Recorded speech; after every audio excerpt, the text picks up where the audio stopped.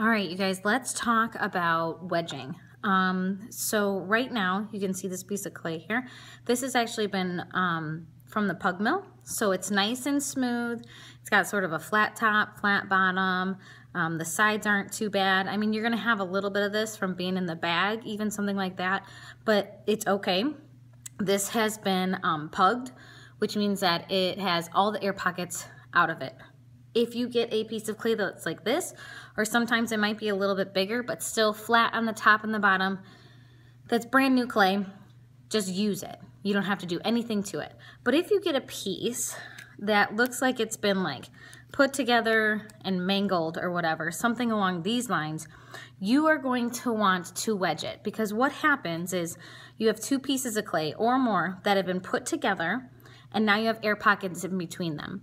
If you um, don't wedge the clay and those air pockets stay in your clay, then you will um, have an explosion in the kiln because the air wants to escape from your sculpture and if it doesn't have a way of getting out, then we run into problems. Um, so I'm gonna teach you how to wedge. So you're just gonna take your piece of clay. This is a really good way to get out your anger um, or frustration if you have any during that day. And you're just gonna pound it on your clay cloth. And you're gonna pick it up. I like to turn it over and pound it again. And pick it up and turn it over and pound it. And I do that often. I like to turn it on all of the sides just so I know I'm really, really smashing it and getting all of that, um, all of those air pockets out. The bigger piece of clay, the more you have to wedge. The smaller piece of clay, the less you have to wedge. So I'm really trying to pound it out here. And I want to roll this out, so I'm not really making a cube anymore. I'm just making it really flat. All right, so this should be good enough. It's pretty flat, pretty wedged. There's no, there's some creases in it, as you can see, but there's no like big, giant crevices. You're gonna have some creases and that's okay. Um, okay, let's talk about rolling out a slab. So once you have your piece of clay here, this is still pretty thick. You don't wanna roll it out just yet. Um, it's gonna take you a long time. So we do something called pancaking. So you're gonna use your hands like this, put the piece of clay in, you're gonna go like this and you're gonna throw it back and once you get super close to your clay cloth, you're gonna whip your hand backwards. Um, so I'm gonna hold the cloth with my one hand so that it doesn't go anywhere and I'm gonna go like this and whip my hand back. I'll come up, whip my hand back, and I keep turning it over. You can see that I pick it up and I turn it over. What this is doing is it's stretching the clay out. So I'm pick it up and turn it over again.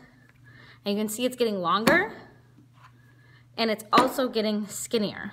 So you can see now that thickness is really skinny. This is good. I can roll it out now. So we're gonna roll out a slab. Here's a rolling pin. Um, there's ones that have handles on it. I prefer this kind. You get to prefer whatever kind you want. When you're rolling it out, make sure you're using the palm of your hand. Don't use your fingertips. Your fingertips aren't strong enough and you'll get a really wavy and bumpy piece of clay and that's not what you want. When you have a slab, you want it to be as smooth and even as possible. I always start in the middle and I roll back and forth like this a little bits of dried clay on there and that's okay.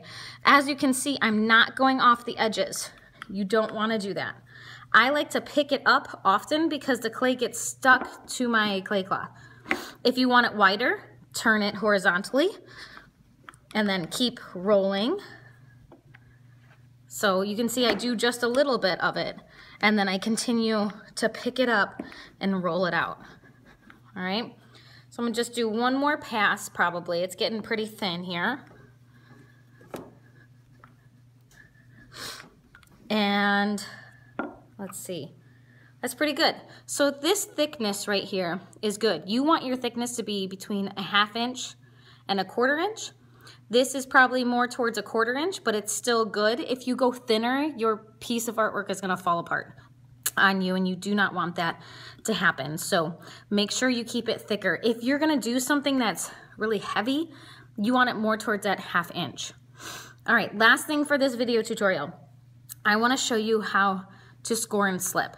So when you score and slip, you should have a knife or some kind of wooden tool. It really doesn't matter, something that can just make marks in your clay. When you use the knife, you can see that there's a little divot here. That goes on the top. I have a lot of people who try to use to cut this, use this to cut. Doesn't work out so well. Use the other side, which is skinnier. It'll make your life a whole lot easier. So you need a clay, you need a knife or a wooden tool, and then you need some slip.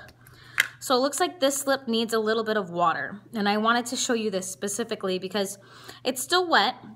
It's not bad, but it needs some standing water in it. So after I'm done here, I'm gonna go get some water from the sink and just make sure there's like a puddle of water in here. It's gonna make it really nice.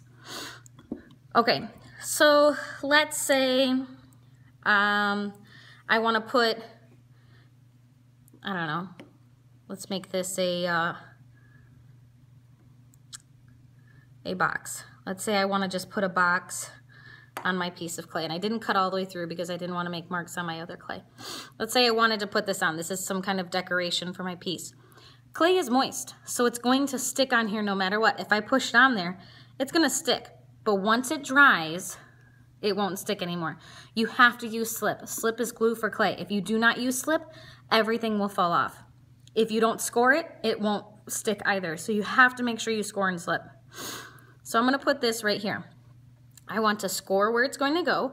Scoring is making marks in your clay.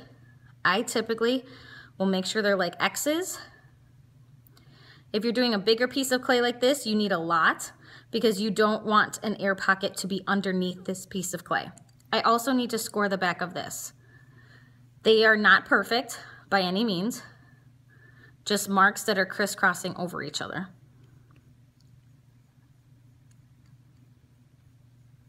So I got a good amount on both of these. I'm then gonna take my slip here and I'm gonna put it on here. You wanna put it on like you're icing a cupcake or a cake or whatever, but you don't wanna see a lot of those marks. What the scoring does is it creates a suction cup. So if you don't have that suction cup, your clay piece that you're adding on may not stick on there. Then what I'm gonna do is I'm gonna stick these two pieces, I'm gonna press it down like sort of smashing it on there. I can't just daintily put it on there or else it's not gonna stick. I'm gonna smash it down. Now I need to um, smooth it out because it doesn't look good, does it? So smoothing out my edges here. You always wanna make sure you finish off your stuff. You don't just wanna stick something on and just leave it. Finish it off, make it smooth. If you're gonna have a texture on it, make sure it looks like it was supposed to be there and not that you were just lazy and didn't do anything. So there's a couple marks there that my fingers aren't able to reach. So I'm gonna just take my knife and really gently smooth those places out right there. That one's really stubborn. All right, and then I have this piece. Now this is suction cupped on and it's my part of my decoration. So you learned three things today. You learned wedging, you learned how to roll out a slab, and now you learned how to score and slip. Um, hope this helps you in the future.